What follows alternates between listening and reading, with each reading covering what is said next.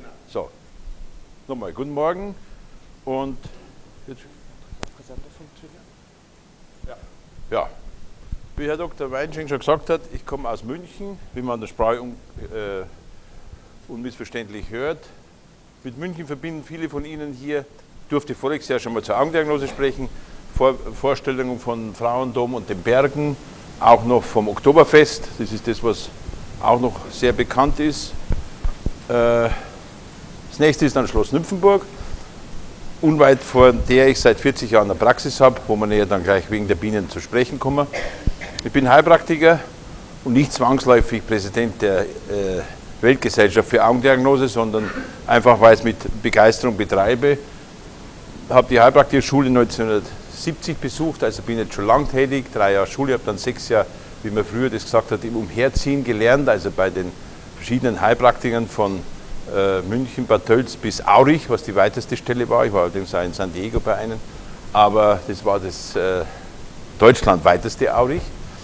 Äh, war dann, bin am Schluss Schüler von den berühmten Josef Angerer geworden, der als Präsident der deutschen Heilpraktiker, Sie sind alle Ärzte, das nur am Rande, das Heilpraktikergesetz in seiner Form mit äh, bewerkstelligt hat der aber auch ein äh, Urgestein der Naturheilkunde war. Er war Mitbegründer der Erfahrungsheilkunde in Ulm, bevor es dann nach Baden-Baden gegangen ist und die Heilpraktiker und die Ärzte nicht mehr zusammenarbeiten durften von der Standesorganisation, das war 56, war aber auch äh, Begründer der Zeitschrift Erfahrungsheilkunde zusammen mit Rilling, mit Hunecke, war enger Freund von Hunecke, dadurch konnte ich den auch noch kennenlernen. Angler war also ein Priester, katholischer Priester und hat die Augendiagnose betrieben, war aber Neuraltherapeut, Chiropraktiker und hat sehr viel für Phytotherapie geforscht und auch veröffentlicht. Ich, äh, das ist seine Topografie.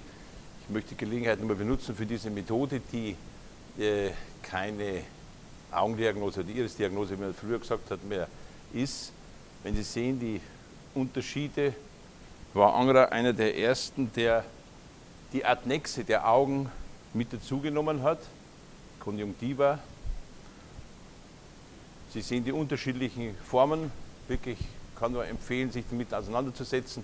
Angler hat es dann auch genannt. Ich sehe einen Doktor, der ja als mm, Nachfolger vom Dr. Markgraf äh, in ihren Kreisen die Augendiagnose, oder wie wir es heute nennen, Ophthalmotrope Phänomenologie weiter betreibt. Das ist nämlich viel besser, denn was machen wir? Wir machen ja keine Diagnose aus den Augen, sondern wir beobachten Phänomene und werten die praktisch, also ophthalmotrope Phänomene und äh, machen dann mit einer Anamnese eine Diagnose, die halt wirklich nur jedem empfehlen kann.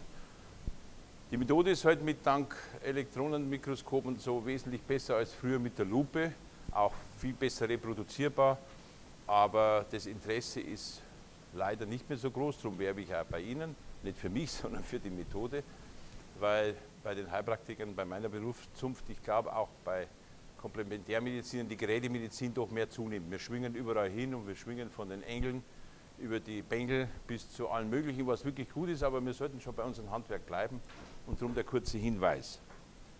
Jetzt werden Sie sagen, wie komme ich eigentlich dazu, dass ich als Heilpraktiker jetzt über Bienenprodukte spreche? Nun, Ihr Vorsitzender, Herr Professor Wander, hat gesagt, ich soll mal, nachdem ich von der Firma her schon, ich habe 1984 durch Zufall, wirklich Zufall mit drei Kollegen eine Arzneimittelfirma übernehmen müssen, weil wir sonst das gute Präparat Strophaktiv, das Sie alle kennen, nicht mehr verordnen hätten können. So ist meine Karriere als pharmazeutischer Unternehmer entstanden. Nach seinem Examen hat dann mein Bruder ist dort in der Firma eingestiegen, die zwei Kollegen sind irgendwann ausgestiegen, irgendwann 1986 haben wir die Firma St. Gegründet und haben dann irgendwann mal den Königinnen Drang, den ich durch, selbe, durch sämtliche Assistenzstellen äh, immer wieder gesehen habe, den kennen Sie vielleicht, der Produkt ist seit 1953 gibt, 1989 dann übernommen, einfach deswegen, weil dieser Vertreiber nicht mehr gekommen ist. Wir haben uns dann erkundigt, was mit dem Produkt ist. Das wäre weg, er ist gestorben, die Witwe wollte nicht weitermachen. Und so hat mein Bruder damals den Hersteller aufgesucht und wir haben das übernommen und haben das dann, kann man sagen, wissenschaftlich auf bessere Beine gestellt in den all den Jahren. So dass man sagen muss, der Kontakt ist schon mal von mir äh, als pharmazeutischer Unternehmer gewesen. Das ist aber nicht allein. Äh, Bienen sind seit Menschengedenken, wenn wir sehen, werden ein faszinierendes We äh, Wesen, wo, von dem alle Menschen immer begeistert sind. Die Wespe ist bedrohlich, die äh, Hummel ist so halb lieb, die Hornis ist ganz bedrohlich, während bei der Biene ist nicht erst seit der Biene Meier, sondern überhaupt das, äh, was Positives besetzt. Das ist ja eine große Heilwirkung. Und äh, das Bienensterben, da muss man so sagen, die Bienen kann man dann etwas in Vergesslichkeit, bis immer mehr vom Bienensterben die Rede war und man dann gesagt hat, okay, da ist alles Mögliche schuld, eine Milbe, aber letztendlich äh, wurde das Interesse an den Bienen wieder mehr bewirkt durch diesen Film More Than Honey. Ich mache hier einen kurzen Trailer, den man kurz übersetzen kann. Ein Film, den, wenn Sie nicht gesehen haben, Sie unbedingt sehen sollten.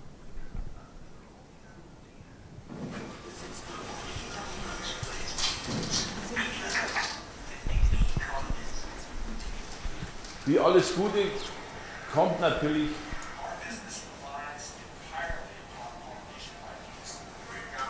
Das sind die Bienen in Amerika. In Amerika wird das alles mit äh, Trucks verfahren. Und da ist das große Bienensterben angegangen. Wie alles Gute kommt bei uns aus Amerika. Und dieser Film zeigt mal die ganzen Missstände auf. Werden Bienen also mit Trucks verfahren und werden dann am Schluss getötet. Etwas, was ein, ein Unding ist, wenn man das jetzt auch gewiss aus der ethischen Sicht sieht. Das ist wieder der Schweizer.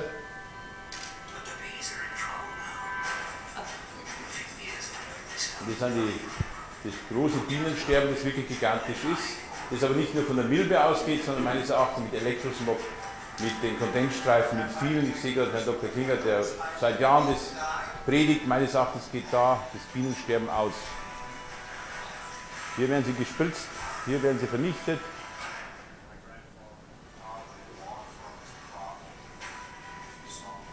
Er sagt, sein Großvater wäre todtraurig, wenn er sehen würde, dass. Aber er hat vorher gesagt, es sind 600.000 Dollar Umsatz, den er mit seinen Bienen macht und dass er die hinterher töten muss, ist halt einfach.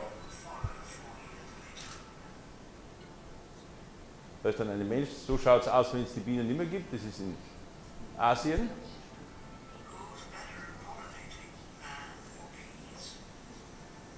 More than honey. Äh, der Satz kam drin vor, Einstein hat gesagt, wenn die Bienen eines Tages sterben, wird später, vier Jahre später die Menschheit sterben. Einstein war ein großer Mann.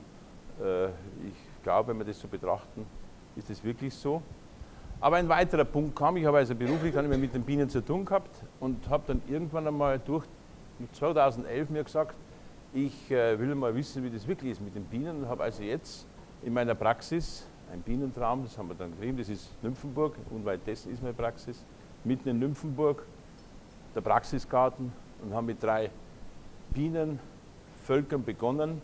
Inzwischen haben wir elf Völker, die wir nicht für die Firma hernehmen können, aber wo wir das wirklich erleben und wo wir auch, mein Sohn ist in der Praxis mit als Arzt, wo wir Experimente machen, zum Beispiel mit Bienensterben, dass Sie das einmal sehen. Das sind also glückliche Bienen.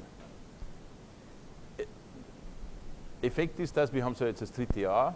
Effekt ist, dass man sieht, dass in der Großstadt das Propolis, das Gelee Royal und der Honig wesentlich weniger umweltbelastet ist als wie in meiner Heimat. Zum Beispiel, ich bin geboren in Niederbayern und habe immer gedacht, Bayerischer Wald, das ist also wirklich, ich weiß nicht, ob Dr. Wolitschek da ist, da ist noch die Urkraft, aber das ist alles kontaminiert. Honig, Propolis, Kitats, wunderbar, aber es, kann, es reagiert unwahrscheinlich auf Ver Vergiftung, also auf äh, Schwermetalle. In der Großstadt besser. Warum? Da ist der Schlosspark in der Nähe, es gibt keine es wird nichts gesprüht in der Großstadt, weil die Gärtner nur Blumen haben und nichts machen. Und so dass wir hier glückliche Bienen haben, es wird also mit geräuchert. Dann werden die Waben entnommen. Das ist mein Sohn, so schaut so eine Wabe aus. Unglaubliche Vielfalt, beruhigt und wahrscheinlich kann ich Ihnen nur empfehlen, Sie sind ja hier in Thüringen. Ich gehöre natürlich seit vier Jahren zum Imkerbund zum Deutschen und sehe, dass also in den neuen Bundesländern das äh, Bienen äh, sehr stark vertreten waren. Also die ist viel größere Kultur als bei uns in Bayern zum Beispiel. Ja, so sehen Sie eigentlich die Glücklichen, hier ist eine Entdeckelung, nennt man das. Das ist dann etwas, was man als Kau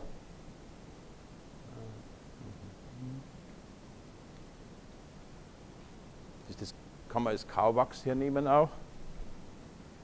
Hier wird der Honig geschleudert. Aber wie gesagt, das ist jetzt nur für uns. Dann gibt es den Honig. Ja, von jeher war äh, Pythagoras hat schon den Honig